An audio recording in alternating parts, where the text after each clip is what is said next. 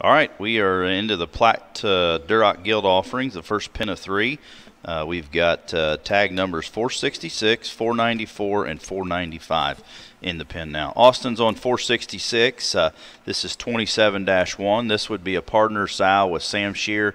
Uh, when we bought the Michaels uh, dispersal sows. Uh, this is one that is a result of that. This is the selfish sow, sired by Red Eye, as I mentioned before. Red Eye sired the Riley Wentbarrow that won the Expo last week, as well as the recovery there in Des Moines. And um, this Red Eye Gilt is, is one of the younger ones in the sale. Um, uh, you know, the 7th of April. A little more immature in her type and kind, but awesome head and neck. I think she's proportionally good enough in terms of length and frame. Uh, got that green immaturity look, and, and, still one that's square enough underneath. Pastern set's really good. Red eyes come with muscle. Not real concerned with that. I think she'll uh, uh, be an awfully good kind of a big gilt there uh, when it's said and done. If we're talking about a market hog or a breeding gilt, I think she's pretty versatile uh, in, in those regards. Uh, 494 is going to be the uh, 49 4. Uh, this is a, a, hibachi gilt. She is smaller for her age. maybe didn't get the best start, but she is an incredibly good animal. Um, she is a, uh, you know, the 6th of March, uh, probably looks more like the end of March size. Uh, you know, she gets after it. I think she can catch up uh, when it's said and done this fall. But uh, as far as quality, shown by quality, she is an awfully good kind of a female. Hibachi's done an awesome job this spring for us.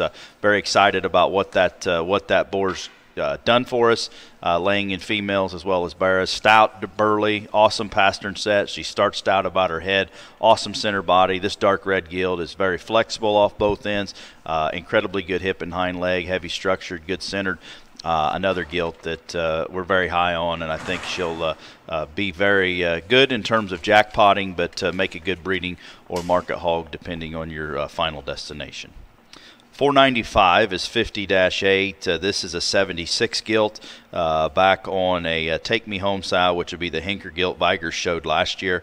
Um, this gilt here is another one that is extremely, extremely durable, heavy structured, uh, a gilt that's got good size for her age and still comes and goes with width and power.